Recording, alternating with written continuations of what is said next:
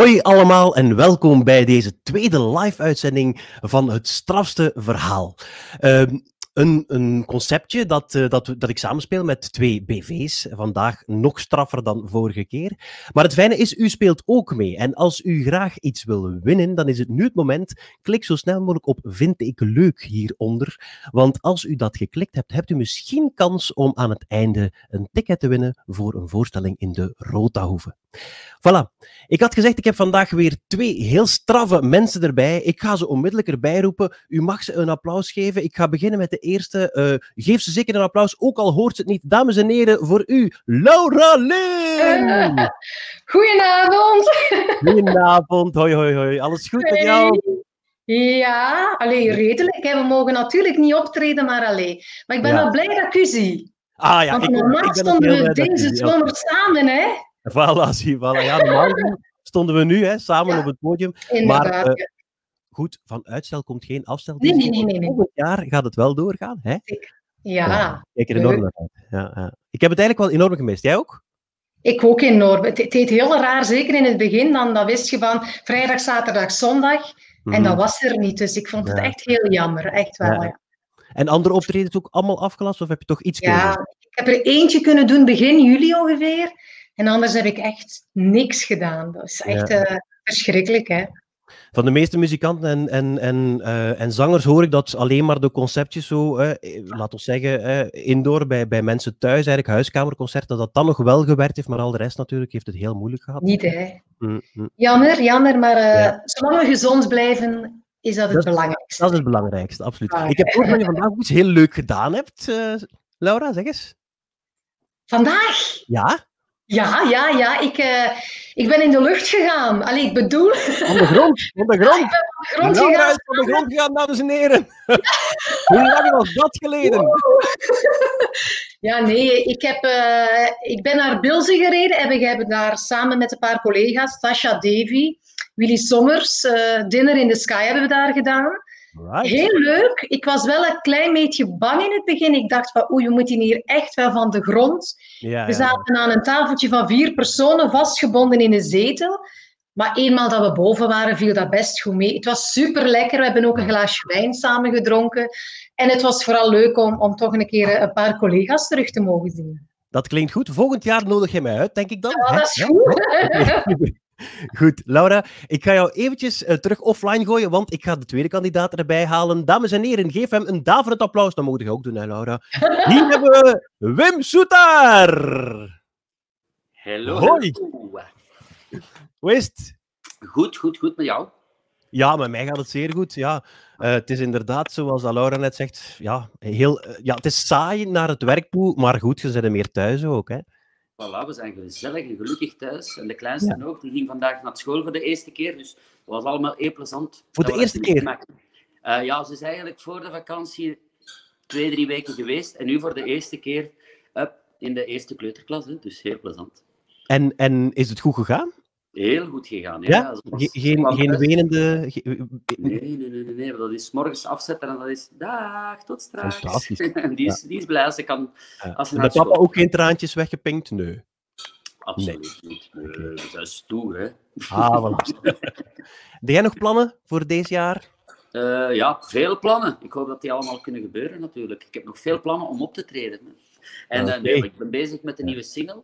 Mm -hmm. uh, een nieuw nummer dat ik uh, met een aantal gasten aan het maken ben. Uh, veel muziek maken thuis, dus zo'n dingen dat ben ik allemaal aan het doen. Dus ik blijf wel zeker bezig met muziek. Zelfs als we niet kunnen optreden, dan ja, is toch elke dag muziek maken. Dat is fantastisch. Vandaag zijn we hier niet om muziek te maken, Wim. Nee, we zijn hier vandaag om straffe verhalen te vertellen. Inderdaad. Ja, het is te zeggen, straffe verhalen, ze kunnen waar zijn, ze kunnen niet waar zijn. En het is aan de ander om te raden wat er wel, wat er wel en wat er niet waar is. Um, ik stel voor dat jij begint. Jouw eerste verhaal, ik zou zeggen, probeer het op een drietal minuutjes rond te krijgen. Uh, jouw verhaal mag beginnen na de volgende bumper. Veel plezier! Dank je.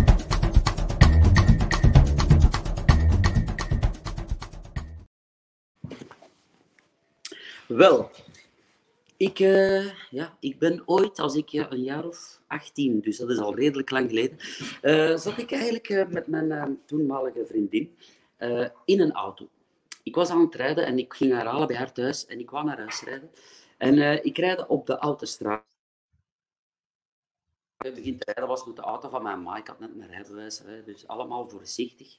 Dus ik ben aan het rijden in één keer zeg ik zo van, wat is dat hier allemaal? Die vliegt zo toch wel van papier in de lucht. Dus ik rijd en, uh, en, mijn, Axel, hè, mijn, toen mijn vrouw, mijn vriendin, die zei, uh, ja, maar dat is geen wc-papier, dat is hier allemaal vuil, wat is dat hier? Ik zeg, nee, nee, nee, nee, dat is geen wc-papier. En ik zie in één keer, maar dat, is, dat zijn briefjes geld. Ik zeg, dat vliegt hier gewoon allemaal in de lucht, dat kan toch niet? En zei, maar nee, dat is niet waar. Dus, wat gebeurt? Ik rijd door. Ik rijd naar de volgende afrit. Ik zeg, ik ga toch eens terugkeren, want dat was toch heel bizar. Ik keer terug, oprit gepakt, ik stop op de pechstrook en inderdaad, ik stap uit. Geld voor mijn voeten. Ik heb dat allemaal opgepakt, beginnen rapen, heb in mijn zakken gestoken, terug in de auto gekropen en naar huis gereden. En uh, daar alles eruit gehaald zo. En dat was eigenlijk zo, ja, uh, toen was dat niet euro's, hè. dat was geen euro's, dat was uh, ja, Belgisch geld en gulden en wat is het allemaal, uit Duits, Duits geld, alles bijgeteld. En ik denk dat ik toen in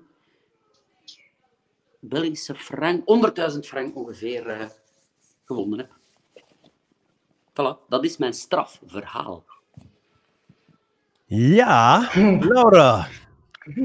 Het is inderdaad wel een heel straf verhaal, maar de vraag is natuurlijk: is het waar of is het niet waar? Mag ik eerst vragen, wat is jouw eerste indruk? Als je het verhaal hoort, denk je van ja, dit kan kloppen, of zeg je van ah, nee, zoveel geld even samenrapen zonder reden, nee, dat kan niet. Ik vind het een twijfelgeval. Ik heb het gevoel dat ik dat ooit nog eens van iemand anders ook heb gehoord. Dus ja, het zou misschien wel kunnen, maar... Het kan ook een urban legend zijn natuurlijk, hè? Het is, het is, het is, het is moeilijk. Ik, oh, ik... Doe, doe maar eens een gok. Ik wil niks laten, laten weten. Hè? Ik ga toch uh, op nee gokken, nee. Je gaat op nee gokken. Nee. Ik stel voor dat je uh, even de tijd neemt, één minuut, om uh, vragen te stellen. Misschien kom je daardoor wel eerder de waarheid te weten. Je hebt één minuut de tijd vanaf nu. Um, dus uh, het was met uw ex-vrouw. Ja. En je was, je was nog heel jong, hè, zeg je? Dus ja. dat was ongeveer de jaar... Uh, wat zijn we nu? 2020? Ja, ja. Dus wel, welk jaar was dat dan ongeveer zo? 10, zo, uh, begin jaren 90. Begin jaren 90. 94, zoiets. Je was 18, hè? Ja, zoiets, 18, 19. Dus je had juist je rijbewijs nog maar. Ja, ik had dan nog maar een jaar of zo, want ik had, ik had nog geen eigen auto. Had nog geen eigen auto. Maar, maar je zei dus, je, zei het, je zat wel op de autostrade, toch? Juist, hè? Ja. ja en je zei afgereden en teruggekeerd. Ik, ben, ik heb de afrit genomen, ja? teruggereden, teruggekeerd, terug de afrit, terug de oprit en teruggereden. Ja. En hoeveel tijd ging er daar zo over? Vijf à, vijf à tien minuten daartussen, dikke vijf minuten. En toch lag dat geld er nog, allee, was dat geld nog allemaal... Ja, het is, het is moeilijk, hè? Ja. Ik, oh, ik vind... Uh... Oké, okay. Mm. dankjewel. Ik heb gezien dat er een aantal mensen zoiets hebben van ah nee, dit is niet waar, hij is veel te zenuwachtig. Zij de zenuwachtig? Ben ik zenuwachtig? Nee. Ik niet. Dat is de indruk die de, kijkers hebben, zeggen ze dus. Ik ben niet zenuwachtig. Nee, oké. Okay. Um, dan stel ik voor uh, dat we aan Laura vragen, wat is het definitieve antwoord? Wim, nog niks laten weten, het is pas aan het einde van dit programma. Wat is het definitieve antwoord? Is dit waar of is het niet waar? Niet waar. Niet waar. Je blijft bij niet waar. Ja. Oké, okay. Wim heeft geen 100.000 euro gevonden. Nee, nee, frank, het was nog... Frank, oh excuseer, het is 2500 euro ongeveer. Mm -hmm. Ja, ik dacht ik ga het proberen hebben, misschien... daar, hè. Lappen, hè? Goed. Oké, okay, dit was het eerste verhaal. We gaan eens luisteren naar het eerste straffe verhaal van Laura na de bumper.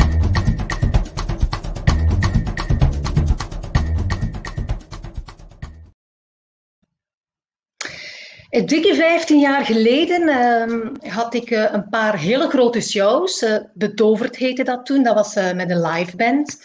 Dat was met dansers. En ik moest eigenlijk heel veel kledingwissels doen.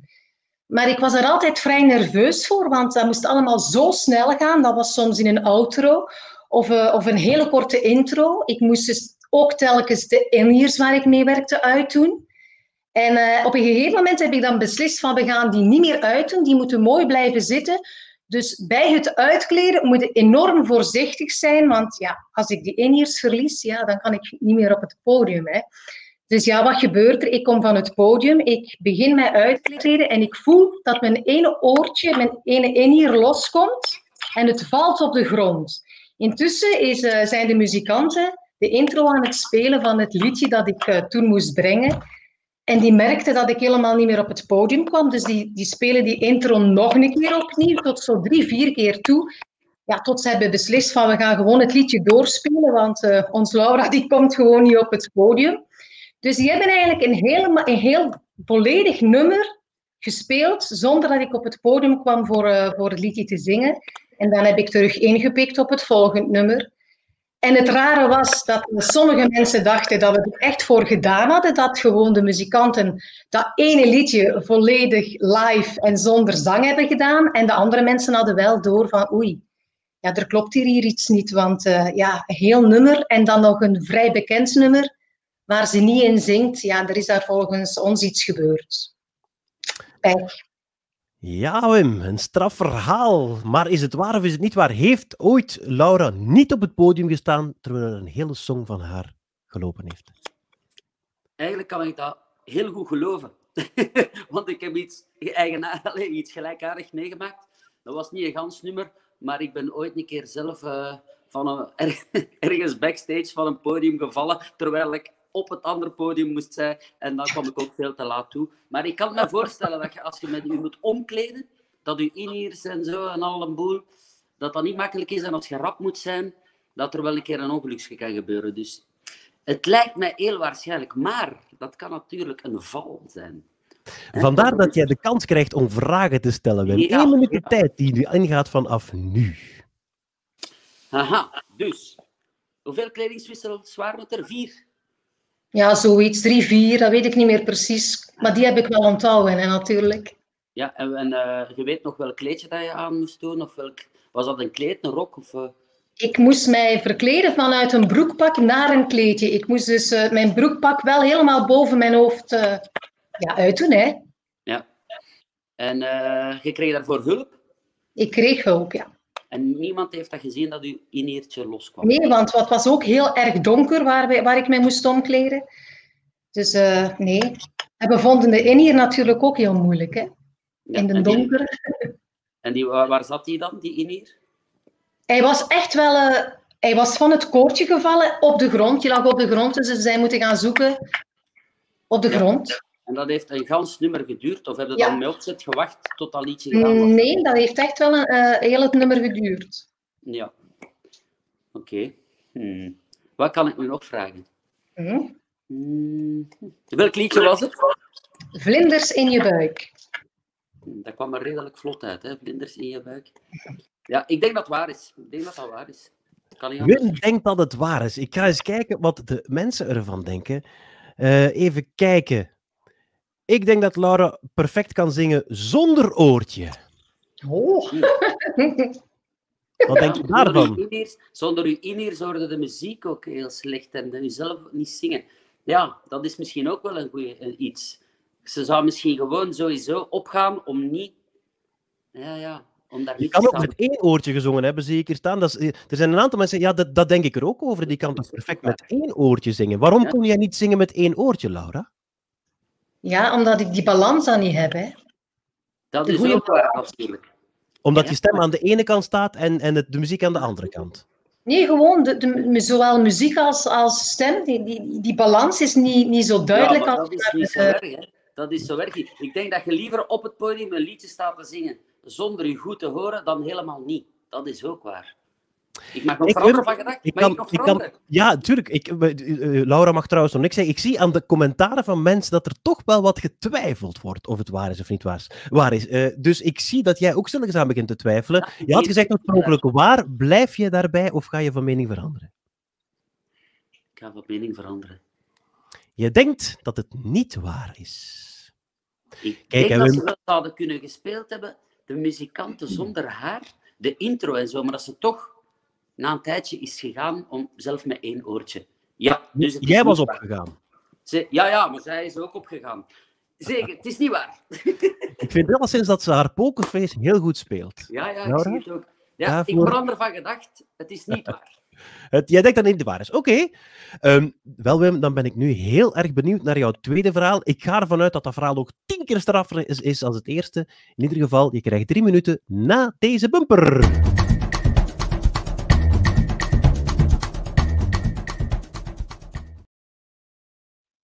Voilà. Dus, Laura, jij weet, of je weet het niet, maar ik denk dat je het weet, want ik heb ooit een cd-voorstelling gedaan met eh, een vliegtuig. Hè? Dus ik vlieg met ULM-vliegtuigen. En eh, ja, ik doe dat al een aantal jaren en dat is heel plezant. Ik heb een aantal jaartjes niet gedaan, maar ik, ben dat terug, ik heb dat terug hernomen. En ik vlieg dus geregeld en ik doe dat. Ja, dat is echt heel tof. Nu, ik zat met mijn opleiding bezig. En zo'n opleiding is ook niet heel simpel. En, hè, je hebt dan een instructeur bij je, maar je mag redelijk snel zelf vliegen. Dus eh, ja, en dat vliegen, ja, dan leer je hoe dat je in situaties moet, eh, ja, eh, noodsituaties moet reageren, of gewoon vliegen, of ja, stijgen, landen, ehm, landen en opstijgen. Allemaal zeer moeilijk en ook zeer gevaarlijke momenten soms als je ja, veel zijwind hebt of harde winden. Nu, met die ULM-vliegtuigen gebeuren er heel af en toe wel eens ongelukken. Zeer weinig, zeer weinig, want dat is ook zeer veilig. Maar af en toe kan er wel iets gebeuren. En als er een noodgeval is, heb je natuurlijk een parachute. Die parachute heb je zelf niet aan, maar die parachute die hangt aan je vliegtuig. Nu, ik zeg, ja, vliegen dat is echt tof en dat is plezant, er gebeurt echt nooit iets. Eh, en op een moment, ja, op een dag ben ik aan het vliegen, samen met mijn instructeur. En we komen in slecht weer terecht. We hebben moeten uitwijken. Maar uiteindelijk kwamen we ook dan nog eh, met problemen eh, van, van benzine en zo.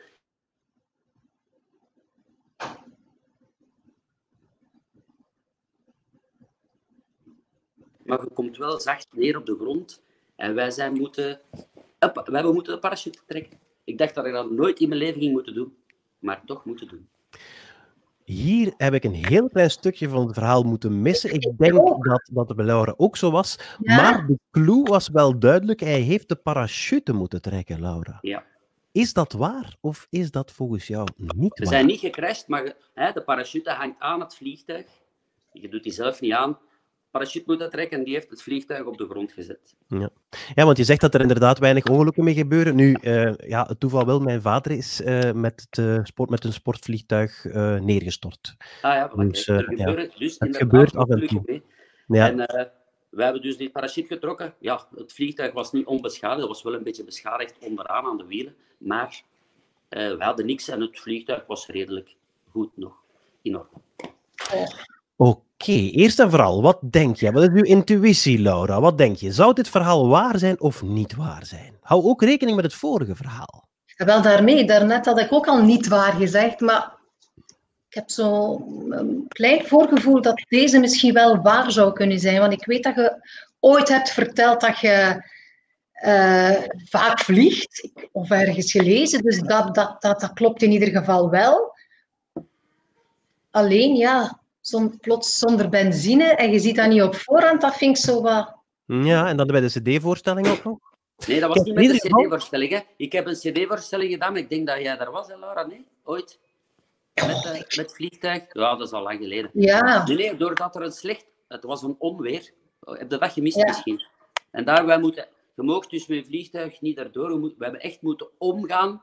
En we hebben redelijk ver moeten omgaan dat we echt niet meer hebben kunnen Oké. Goed, in ieder geval, je krijgt nu nog één minuut de tijd om vragen te stellen. Ondertussen kunnen de luisteraars en de kijkers ook goed nadenken. In de comments mogen alle vragen komen die ik nadien ga afvuren op Wim. Is het zo, heeft Wim de parachute moeten trekken of niet? Laura, één minuut de tijd. Dus het onweer wist je helemaal niks van. Het is echt plots onverwachts gebeurd. Ja, dat, dat kan soms heel snel gebeuren. Hè. Je weet wel er komt iets aan, maar je kunt er wel nog voorbij. Maar dat ging in één keer, wap, alles toe. Hebben we echt moeten heel ver omvliegen om. En je mag met zo'n vliegtuig niet door de wolken. Je moet echt ja, je moet oppassen. We konden ook niet laag genoeg vliegen. Je mocht wel onder het wolkendek, als dat zou gelukt zijn. Maar dat ging niet. We hebben echt moeten omvliegen. En dan hebben we, ja, we zijn er net niet meer geraakt. Zo ver dat je benzine... Dus de benzinetank zat toch wel vol op voorhand veronderstellen? Nee, nee, nee. Maar dat was ook niet de bedoeling. Nee, die zat ah, niet omdat, het... omdat geberekend hadden. Geberekend hadden, omdat ja, uh, wij moesten niet ver vliegen. Dat was van Amougy naar uh, Beziti. Dat, dat is een half uur vliegen. Ja. En uh, ja, dan berekent je een uur ongeveer. Een uur, een uur en een half. Maar we hebben echt veel verder moeten vliegen. En ook doordat het, ja, doordat wij echt moeten de motor hebben belasten en doen, hebben wij problemen gehad. Dan zaten wij gewoon zonder. Ja, dat was okay. niet, helemaal niet voorzien. Ja, Goh, ja. Je vertelt het wel heel vlot, hè, dus het komt precies toch wel geloofwaardig over. Ja, oké. Ja, uw tijd is alleszins om. Ik ga eens eens kijken, misschien dat dit je nog kan helpen. Misschien zijn er mensen die nog vragen hebben. De meesten denken hier wel dat het niet waar is. Um, maar dus hoe is het toestel uiteindelijk aan de grond gekomen? Met een parachute. Gewoon, eh, dat is, uh, de ULM heeft een parachute achteraan hangt dat erboven, allez, dat zit daaruit. Je kunt dat gewoon trekken aan je hendeltje, maar die komt gewoon boven je vliegtuig. En je vliegtuig zakt gewoon naar beneden, maar dat is niet, ja, dat gaat wel met een bepaalde snelheid. Je krijgt wel een goede klop natuurlijk. En het onderstel heeft wel uh, schade geleden, maar wij hebben gewoon uh, rustig kunnen landen. Oké, ik zie hier wel iemand die een zeer terechte opmerking heeft. Waarom heeft dit dan niet in de boekjes gestaan? omdat we dat niet verteld hebben aan de is, er gebeuren wel geregeld van die dingen, uh, waarvoor dat er geen echt grote... Moesten wij nu echt gekrast zijn en er zou uh, zware gewonden of doden geweest zijn, dan zal het wel in de boekjes staan. Maar zoiets, dat is, ik denk dat dat meerdere keren op een jaar wel gebeurt. Dat is niet de eerste keer ook niet gebeurd, maar ja, dat is, dat ook omdat dat vliegtuig halen, ze laten dat op, dat wordt gerepareerd en dat is voorbij, hè, ja. Laura, Blijf jij bij je mening of denk je van, ah oh, nee, dit zou toch eerder niet waar zijn? En dan is meteen ook het vorige verhaal wel waar. Hè? Hou daar ook rekening mee. Nog niets verklappen, hè, Mim? Ja, het is waar. Je blijft erbij. Het verhaal is waar. Ja. Wel, straks weten we de waarheid. Maar eerst wil ik van jou nog een heel straf verhaal horen na de bumper.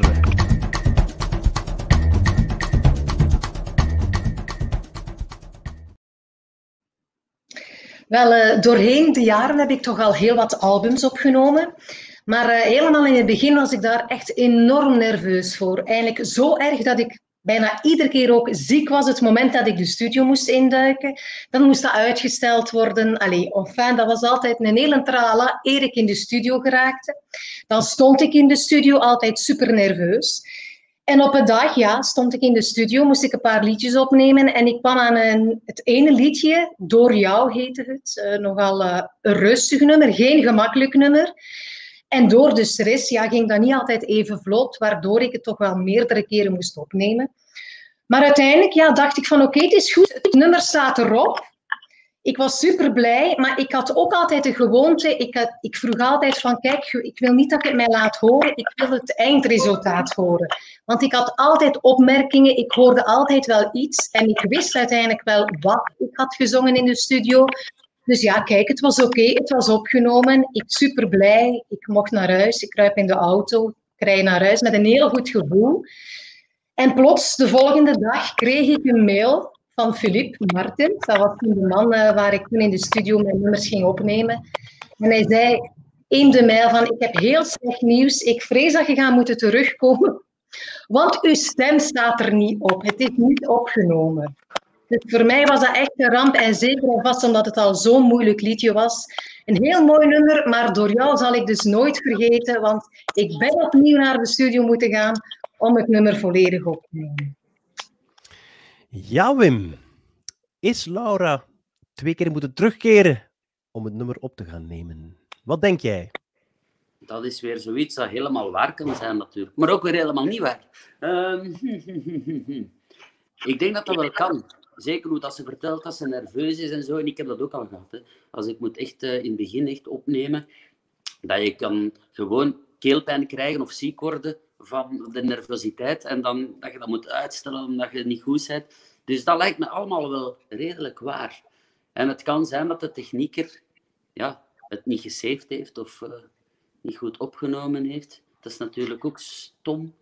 Van het dingen kan, op maar... En er zelf een keer niet naar luisteren van als technieker zelf, als Lara ja. zou zeggen, ik wil het niet horen, maar de technieker of de, de producer moet er toch wel eens naar luisteren. Misschien kan je aan de hand van een aantal vragen en details misschien, want dikwijls zit het in de details, te weten komen of het verhaal echt waar is of niet. De kijkers mogen uiteraard via de comments ook vragen stellen. Komt-ie. Oké. In welke studio was het? In Eeklo, bij Philip Martens. Ik weet niet hoe de studio zelf noemt, maar dat was bij toen Philip en Lieve, zijn vrouw, leefden toen, gelukkig nog. Zij schreef de teksten, Philip maakte de muziek. En dat was in Eeklo, Philip Martens heet hij. Hmm, maar je kent de naam van de studio niet? Ik weet zelfs niet of die, of die, die studio een naam heeft. Ik weet dat helemaal niet. Nee. Oh, dat kan nee, echt, ik meen dat, ja. Philip Martens. Ah ja. Echt, ik weet niet. Oké, en welk album was het? Uh, dat was het tweede album voor jou. en hoe heette het liedje weer? Door jou. Voor jou, door jou. Ja. ik weet, het klinkt raar, hè, maar ja. uh, en hoe gaat het liedje? Door jou kon het zonlicht altijd weer. En duisternis zie ik nu niet meer. Dus doe maar door, doe maar door, doe maar door. voorbij, ga maar, Laura. Nu zijn er niet nerveus om te zingen, hè? Ah, ja, nee, ik ken het intussen, hè. Ah, ja. ah je was nerveus omdat je het niet, niet kende. Omdat ja, je kent toch nooit je nummer echt 100% vind ik toch, als je naar de studio gaat inzingen. Maar, nu, ja. een van de kijkers zegt wel, let op Wim, want ze heeft al eens iemand duizendmaal belogen. Hè? Pas op, hè. Pas ja. op. Hè? Ja, godverdomme. Maar dus dat wil zeggen, als dit niet waar is, dan er waar. En als dit waar is, is dan er niet waar natuurlijk. Dat klopt. En het is zelfs zo dat we eigenlijk, hè, omdat het tweede verhaal van Laura nu ook verteld is, dat jij nu effectief een keuze mag maken. En Laura mag vervolgens zeggen of het klopt of niet klopt. Met andere woorden, als jij denkt dat dit verhaal waar is, is het andere niet waar en omgekeerd. Dat had ik weer Welk gezegd. Het andere was niet waar, had ik gezegd. Hè? Het andere met de in-ears die ze verloren was en het nummer dat gespeeld heeft zonder dat ze op podium is gekomen, had jij inderdaad gezegd dat het niet waar was. Dus ja. als je nu zegt dat dit waar is, dan blijf je bij je mening, anders verander je. Ik ben daar straks al eens veranderd. Hè. Ja, jongens, dat is moeilijk. Ja. Oké, okay, ik blijf bij. Het is niet waar het eerste en dit is waar. Oké. Okay. Laura, is dit laatste verhaal waar? Het laatste verhaal is niet waar. Ai, ai, ai, ai.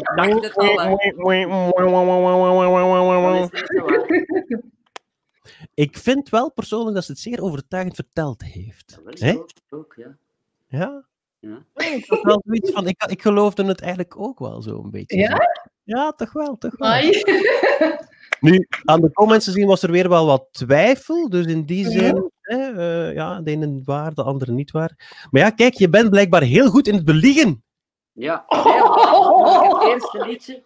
Eh, het, eerste, het eerste verhaal dacht ik, was ik echt aan het twijfelen. Dat was echt een, grote twijfel. En ik ja. dacht dat we het toch gedaan hebben met één in hier. Maar eh, ja, nee, toch niet. Hm. Oké. Nu, ik ben ook wel heel erg benieuwd naar jouw verhalen, maar het is aan Laura om een definitieve beslissing te nemen.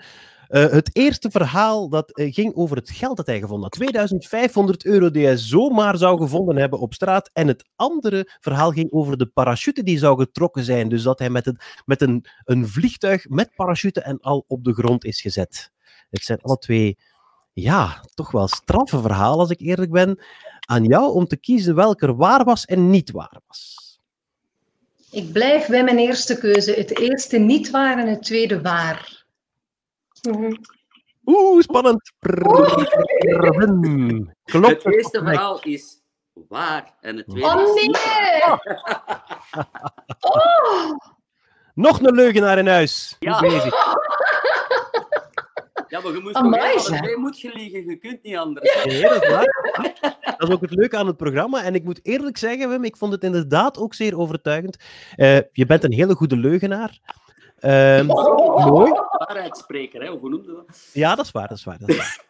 Eh, kijk, in ieder geval, het is 0-0. Dus met 0-0. andere woorden, maar dat geldt voor het hele programma. De Dus, eh, kijker 0-0, heeft de laatste keuze. De kijker mag beslissen wie dit programma wint. En het is, eigenlijk, eh, het is eigenlijk zo dat de kijker mag beslissen wie van de twee het strafste verhaal verteld heeft. Tenminste, het strafste verhaal dat waar gebeurd is.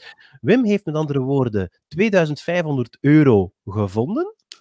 Op straat. 100.000 frank. 100.000 oude Oh, buiten. Meer dan 20 jaar geleden, hè? Ja, Dat was veel geld, hè? tuurlijk. ja. En eh, eh, ja, ons Laura eh, is haar inheers verloren en is dan eigenlijk op het podium moeten verschijnen. eh, of tenminste, is niet op het podium verschenen terwijl er een nummer Ze liep. zat al in de auto naar huis. Ja, is aan jullie. Jullie mogen in de comments schrijven, dames en heren, wie jullie vinden dat het strafste verhaal verteld heeft. Daarvoor krijgen jullie even de tijd. Dus nu in de comments mag erbij komen en eh, ik zal dan even laten zien aan de mensen. De winnaar krijgt deze t-shirt met de strafst op. En die wordt toegestuurd door deze sponsors, dames en heren, Reclame Online en CreaWorks. Ik ga even moeten naar de comments kijken en ik ga kruisjes zetten. Ik zie hier... eh, Wim, Wim, Wim, Wim. Laura, Laura. Wim, Laura. Wim, Laura, Wim. Oh. Ja, ik heb het gevoel dat het stilaan begint duidelijk te worden. Ja, het is toch redelijk straf, hè? Een- oh ja, Is wel waar, ja. de overgrote meerderheid vindt dat Wim vandaag het strafste verhaal heeft verteld. Applaus voor onze Wim! Laura, We moeten jou jammer genoeg met lege handen naar huis sturen, maar jij mag wel iemand anders gelukkig maken. Hm? Ik zou van jou graag een getal willen tussen de 0 en de 25, alsjeblieft. 22. 22. Dan ga ik even kijken naar de likes. We gaan even beginnen tellen. We zitten hier. Ah, oei, ja. Even kijken. Onze likes.